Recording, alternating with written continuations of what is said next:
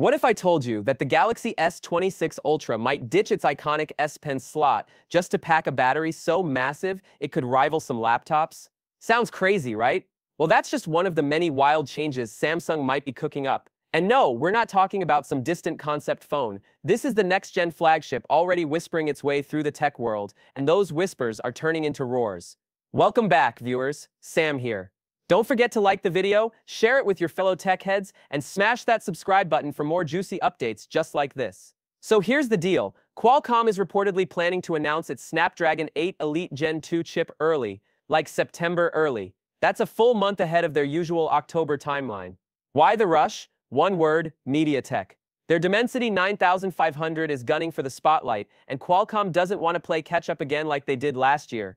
And here's where it gets wild. Both chips are being built on TSMC's bleeding-edge 3 nanometers process, meaning they're smaller, faster, and more power efficient than anything we've seen before. It's a silicon showdown, and Qualcomm is trying to land the first punch. But Snapdragon 8 Elite Gen 2 isn't just arriving early, it's arriving strong. Rumors say it's rocking Pegasus CPU cores clocking up to 5 GHz, paired with the next-gen Adreno 840 GPU. Translation?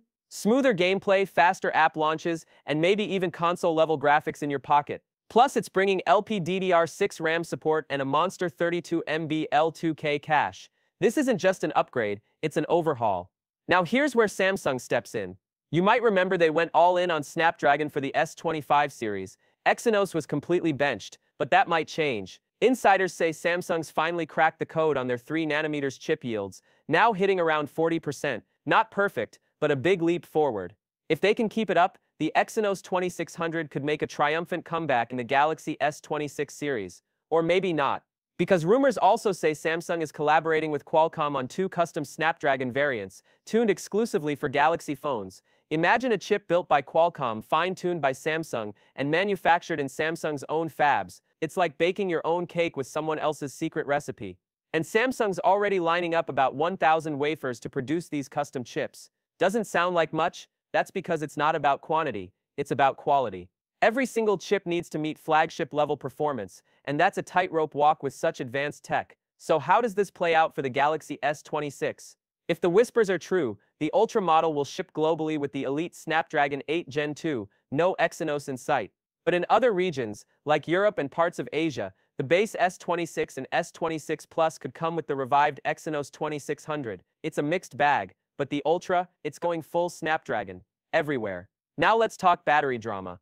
For years, Galaxy Ultra fans have been stuck with the same old 5000 mAh battery. Reliable, sure, but come on, it's 2025. Where's the innovation?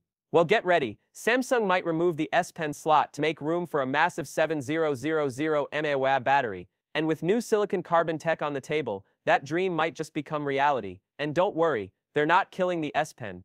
Rumor has it, the stylus will now magnetically attach to the side of the phone, a la iPad Pro, sleek, accessible, and still right there when you need it. But wait, there's more. The S26 Ultra might pack a variable aperture main camera, making room for a bigger battery by eliminating one of the telephoto lenses. Combine that with whispers of a 324MP main sensor and a 200MP telephoto, and you're looking at photography that could rival professional gear. As for design, expect bezels so razor thin, the display could look almost edge to edge. Some concept renders even tease an under-display camera, though that might be a stretch this time around. The punch hole might stick around for now, but the bezels, practically gone. And just to top it all off, Samsung may launch the Galaxy S26 lineup in December 2025, with global availability in January 2026. That means two Galaxy flagships, the S25 and S26, could hit pre-orders in the same year. A bold strategy possibly aimed at keeping up with Apple's iPhone 17 launch window. And honestly, it might just work. So here's the big question. Will the Galaxy S26 Ultra finally be the no-compromise flagship we've been waiting for? Bigger battery, smarter chip, slicker design, it has the blueprint for greatness, but execution is everything. What do you think? Is this the year Samsung reclaims the crown, or are we in for another round of deja vu? Drop your thoughts in the comments below. I want to hear from you. Until next time, keep your devices charged, your hype levels high, and I'll catch you in the next one. Peace.